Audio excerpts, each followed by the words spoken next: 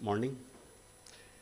Just, I don't want to discuss only the performance evaluation of Johkasou system under Indian conditions. It's a long journey.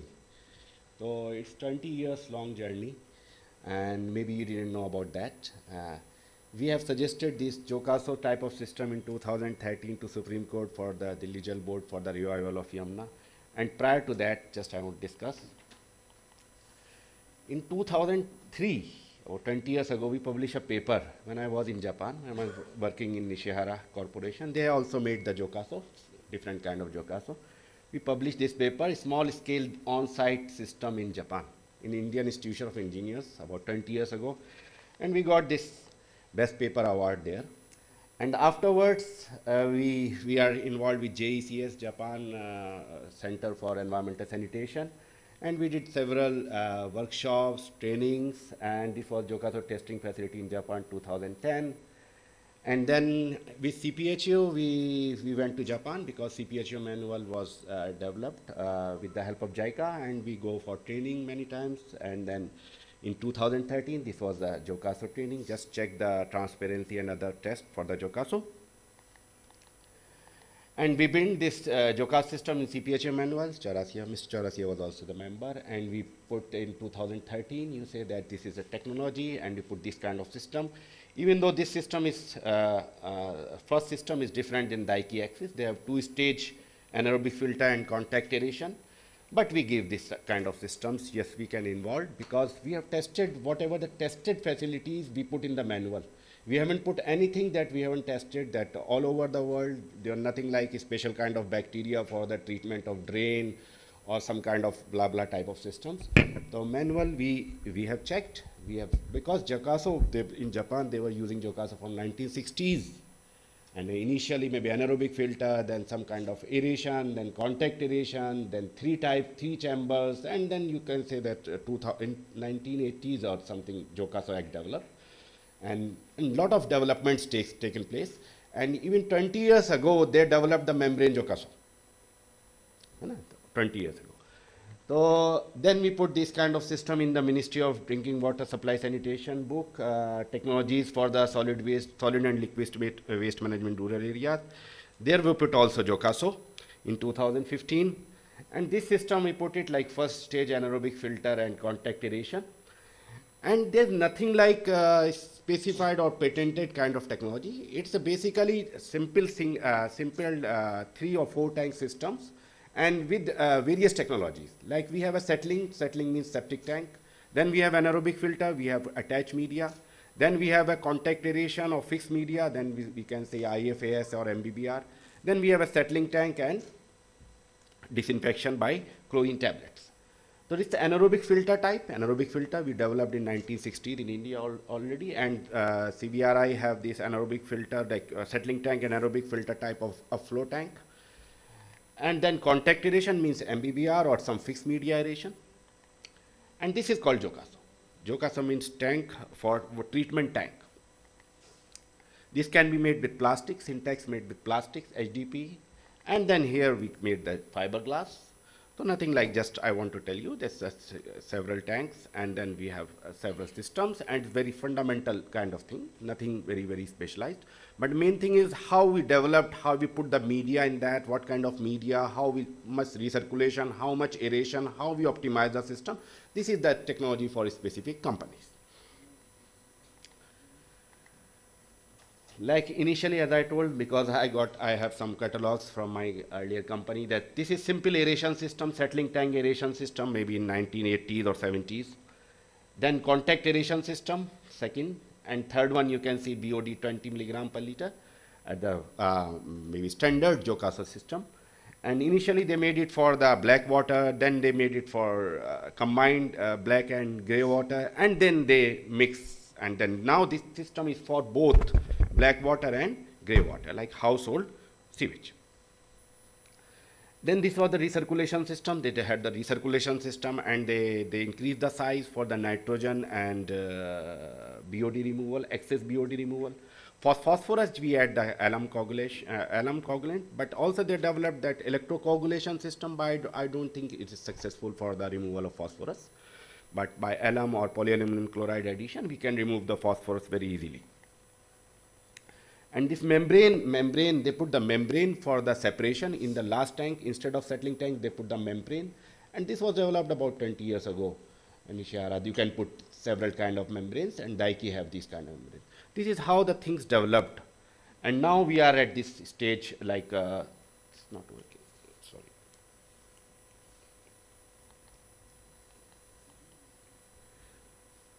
For now waste is the pointer नहीं just okay. Take our pointer hmm. so this is basically this kind of system we evaluated. This first tank is a simple settling tank. You can see. Settling tank separation and degradation. The first tank is the septic tank. You can see you know? first tank is the septic tank. Where the settling and degradation at the bottom takes place. And about 30% BOD we assume he removes here. Then second tank is anaerobic filter tank. We have an upflow anaerobic filter type system. We have attached media and the anaerobic bacteria degraded the soluble BOD.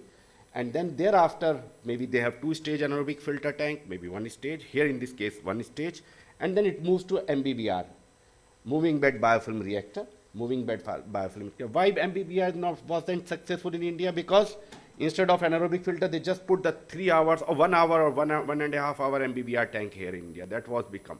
And here the MBBR tank, the detention time is more than six hours. Anaerobic filters, maybe more than 10 hours. Anaerobic filter, more than 12 hours. First tank, more than 12 hours. So detention time is much, much higher. So here two days detention time. And there maybe 20 years ago, our MBBR tank, only one, one hour detention time. Therefore, we almost eliminated from the India. This was a problem, but here, big and properly controlled. Then we have a settling tank and uh, disinfection, disinfection by the chlorine tablets, and recirculation for the removal of nitrogen. So this is all this is all the system for the for the evaluation. Now you can see there are about one, two, three, three kind of STP together in a compact tank. Three three kind of STP. They're just uh, because First STP septic tank, second is anaerobic filter we use in, many industrial wastewater treatment systems. Third is MBBR, we use it for the sewage treatment. And these three tanks, and with disinfection system. We installed in IIT to check uh, for Indian conditions because everybody wants that, okay, have you tested this system for Indian condition? We didn't have any idea. We didn't got it because the company they started about two, three years ago. So I, I want, but uh, now we have uh, this opportunity. Then we have a uh, we have taken for the uh, prop uh, sewage, actual sewage. But in the sewage, our STP, like in Delhi Jal Board also, or uh, most of you know, the BOD of these STP is about 150 milligram per liter. But we have to test the system for 300 milligram per liter, more than 300, because on the way about 50% of the BOD degraded in India. Therefore, once the BOD generated at your household is 300, but on the way to STP it becomes 150. Therefore, we have we have to increase the concentration of the BOD by adding methanol and other things to make to uh, to to check it for the actual condition. This is 5 KLD Johkasou system, and this is a tertiary treatment. Just uh, DG NMCG told that okay, their systems for Johkasou have the BOD standard of 20 ppm, but can it satisfy 10? Yes 80% of the time it satisfies 10 but uh, COD for 100% of the time it satisfies uh, 50 but if we put this kind of tertiary treatment tertiary treatment then maybe I got sometimes 12 BOD or 13 BOD and 80% of time less than uh, 10 BOD we can put this kind of filter then 100% of the time we can get the BOD 10 we have this kind of system and now you can see here this this is the total installation and we tested it. This is the total installation. You can see it's 5 meter cube per day. You can put underground, you can put overground, you can put this kind of system. You can say several STPs together. Actually, this system, basically we have to test it for 25 degree centigrade because once, that is very important uh, criteria, for 25 degree centigrade is a standard system and once we want to test it to 15 degree centigrade, then our system become bigger then 15 degree centigrade, then it become two times. And if you want to go for 10 degree, it become three times. So just we have to increase the size. Like for Kashmir, we have checked the MBBR. So we require nine hour detention time compared to three hours here in Delhi. So for our system become three times bigger. Like all our Mussoorie plants, all our Nainital plants, the cost is about two or three times, man, three times than the normal plants. Therefore, you have to pay also three times more than. In, in Shimla, we, we designed the SBR, we are making the SBR. The detention time is 31 hours. But here you can find the detention time in Noida with 12 hours or 13 hours SBR CTEC or something, 31 hours. Therefore, here also for a lower temperature, we have to increase the size. So this is, but it works. It works because in Japan it works, this means it will work here. But here we did long-term evaluation for one year evaluation, we have checked. And also this is important. The dissolved oxygen in the first tank in the anaerobic is about uh, 0.5 or you can say about zero. But in the MBBR tank, it's around 4 to 5 milligram per liter. This means we require blower of about uh, half horsepower to 1 horsepower. It depends on the type of Johkasou. But we have to maintain these dissolved oxygen concentrations here. More than 3, more than 4 or something like that. This means we require aeration. It's an energy intensive process we have to keep in mind. And we can reduce the energy bill by putting the solar panels or something, optimized op by optimization. Therefore, this we have to consider in our mind. Now you can see COD. Hmm. So COD of our system, that inlet COD prepared raw water varies from 150 to about 950. You can see so much fluctuation is there in the COD inlet. But almost, almost all 95% of the, you can say 100%, there was some problem with the, with the system. But you can get less than 50 COD. And you can see this uh, final outlet means after tertiary treatment, the COD is around 10 or 15 or 20 milligram per liter. So very, very clean, very clean water you can get by this kind of system. And you can see fluctuation is there, fluctuation, too much fluctuation with the COD values. And BOD. Now it comes to the BOD, that's the most important aspect. Here you can see the BOD also varies from 50 to about 300. We have to test it more, but anyway, this is the general BOD. We got it in our system. And most of the time we got about less than 10. But after putting this tertiary treatment system, you can see this tertiary, tertiary treatment system, we got 5 to 10 and very easily. That's why in Japan, because they are very safe, therefore their standards of BOD is 20. The 20 is maybe 15, I can say 100% of the time. But if you want to play with, with 10 or 15, we have to put some kind of tertiary treatment system, the case to case. And you can see with the tertiary treatment system, we can get about less than uh, less than uh, 5 even sometimes. You can see less than 5 BOD. This is uh, green is tertiary treatment system, but this is the uh, Johkasou outlet. For last two months, three months, we are getting less than 10 BOD, but after treatment, we can get Uh, less than even 5. Suspended solids, our NGT standard is about 20 ppm. Almost all the time we got less than 20 milligram per liter suspended solids. You can see, you can see here, and after tertiary filtration, you can get five, even less than that. And this is the quality of water that we got. Mr. Badoni and other people, they have seen this, this almost very clean water like here, you can get this kind of system. So after putting so many tanks, after putting so many treatment plants together, after giving so much energy and after giving so much cost, at least this, is, this was our target. Otherwise, septic tank is good enough and we can compare the quality of septic tank with this kind of system. And the biggest problem is nitrogen. Nitrogen, yes, our standards are quite strict for nitrogen and we have to be very careful in selecting the technology for nitrogen removal. And the systems, actually, we, we, we have tested and we faced some problem initially with the nitrogen removal. But because we, our recirculation rate is very high, so we control our recirculation rate. And then this is the inlet nitrogen for last three or four months, we are getting even less than 10 ppm nitrogen. And most of the time, and you know tertiary treatment doesn't work for nitrogen, it can just control 10% of the nitrogen, nothing. Tertiary treatment only control maybe BOD or suspended solids, no nitrogen. So you can see tertiary treatment, there's no nitrogen, there's no effect of nitrogen, but the system can remove the nitrogen because the NGT standard and we have for the critical stretches for the like Himalaya or other places, we have to control the nitrogen also. Phosphorus, very easy to control, just we have to add, add alum or polyaluminum chloride.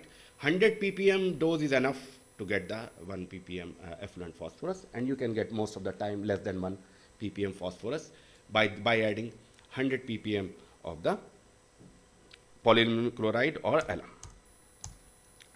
fecal coliform. We have the chlorine tablets, like this kind of uh, tube, and the pa- water passes through the chlorine tablet, and then it can bring the coliform concentration zero. Zero almost every time. Very, very safe, but you have to change the chlorine tablets. You have to change. The, the- then you have to pay again, you have to pay the cost for the chlorine tablet. Every six months, you have to check uh, chlorine monthly, yes. This means monthly.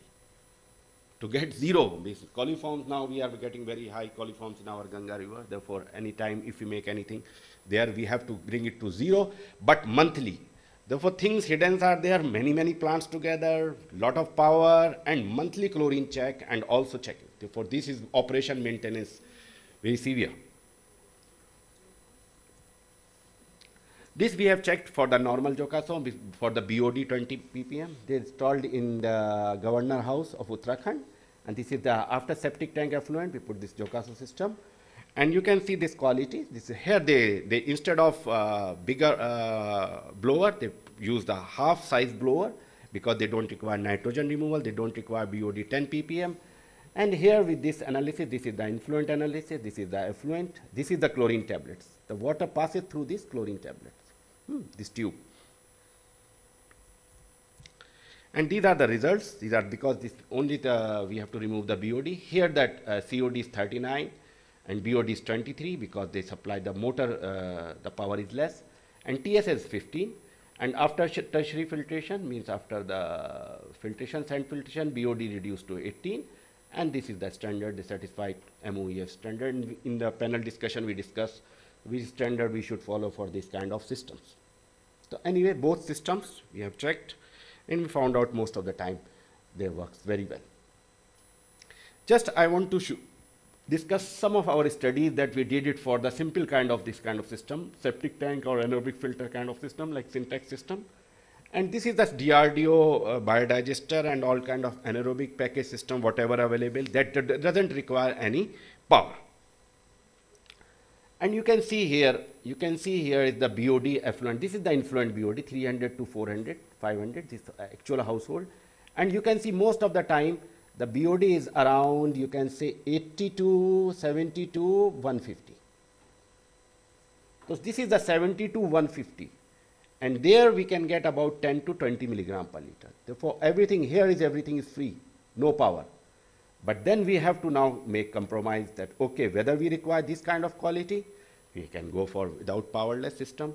And uh, if it, and total suspended solids just satisfies this standard.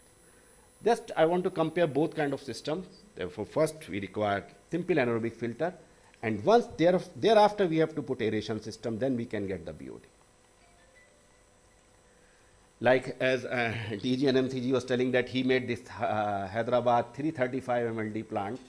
And this was the effluent quality of 335 MLD UASB plant. And this was the quality of pond effluent. And this is the quality of our all advanced ASP effluent system, like you can see Delhi Jal Board AO process, or you can say here all SBRs, most of the SBRs basically in the Ganga belt. We are getting this quality of water here. Even Commonwealth uh, game that uh, MBR also. And similarly now, this anaerobic package or septic tank, we can get this kind of quality of water if we really well, if we really doing well, if it go proper desludging, if we design everything very well, then we can get this quality. And now we require this quality, this means all these efforts are going on to bring this quality to this. In last 12 years, we bring this quality, we improve this quality to this quality, and now next how many years we can bring this quality. This, this is the effort, this is the challenge, and we have to really work hard for these kind of systems. And here, why we require this quality, we can say that, okay, wherever we cannot put the sewerage system, it takes long time to, or uh, maybe remote locations, we have to go for these kind of systems, and that is by law. Therefore, we have to check this. Uh, this is this is ha have a lot of scope for the low temperature like resorts, like uh, our place, like uh, Shimla or uh, Jammu Kashmir or Himachal or Uttarakhand. So we have to test this system for low temperature conditions also.